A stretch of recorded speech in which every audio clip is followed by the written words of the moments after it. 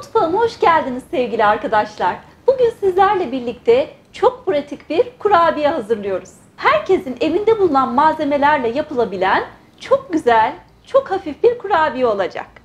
Kurabiyemi hazırlamak için yoğurma kabının içerisine yarım su bardağı ayçiçek yağı, yarım su bardağı sütü alıyorum. Üzerine şöyle bir su bardağından bir parmak eksik toz şekeri ekliyorum. Kurabiyenin hamurunda yumurta kullanmayacağız. Ve biraz da limon kabuğu rendeleyeceğim.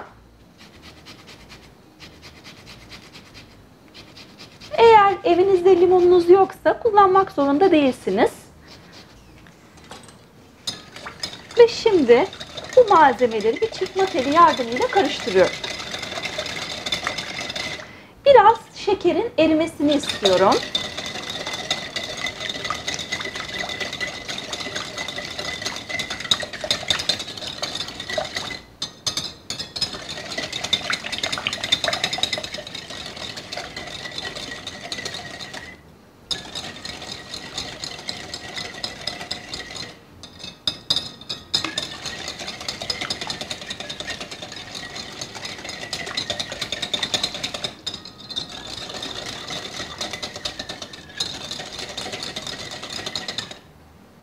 Karıştırma işlemini lütfen ihmal etmeyin.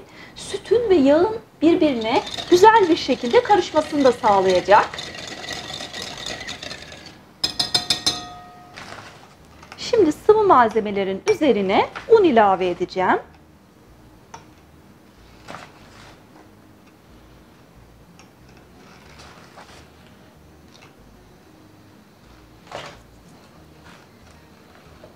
Bir,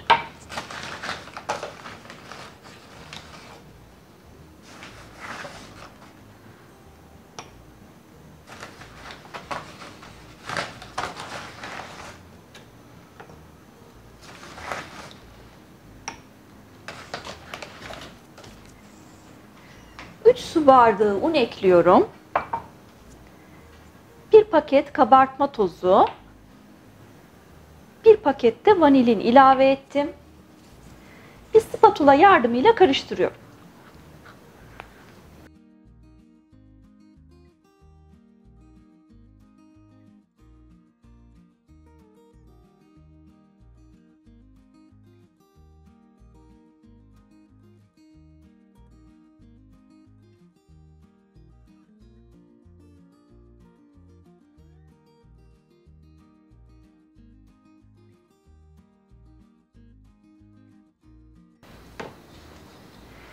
Şimdi de şöyle hamuru elimle toparlayacağım.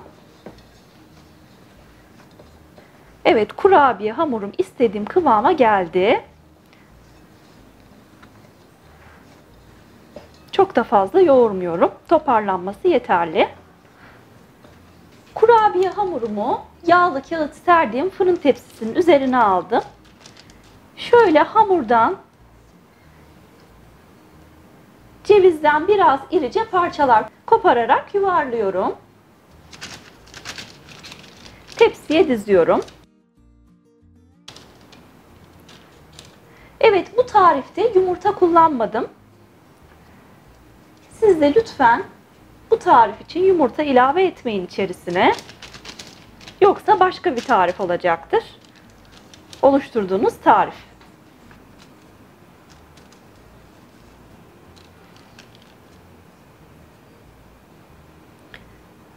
Dikkat etmeniz gereken en önemli püf noktası sıvı yağı ve sütü güzelce karıştırmak.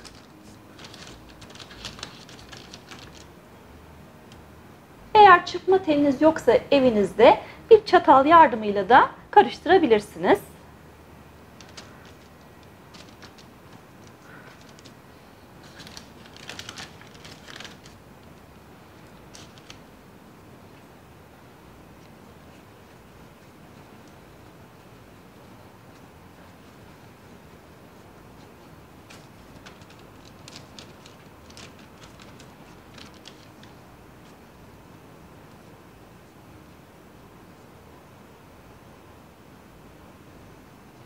5 dakikada çok pratik bir şekilde hazırlayabileceğiniz bir kurabiye oluyor.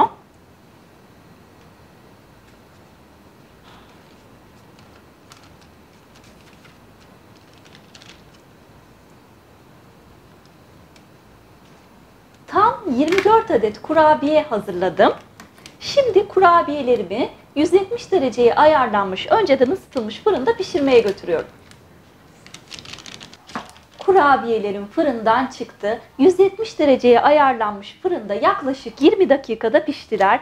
Şöyle size altlarını da göstermek istiyorum. Bakın içini de gösteriyorum. Evdeki malzemelerle pratik bir şekilde hazırlayabileceğiniz çok lezzetli ve hafif bir kurabiye oluyor. Bu tarifi denemenizi öneriyorum. Eğer denerseniz benimle paylaşmayı lütfen unutmayın. Bir sonraki videoda görüşmek üzere. Hoşçakalın.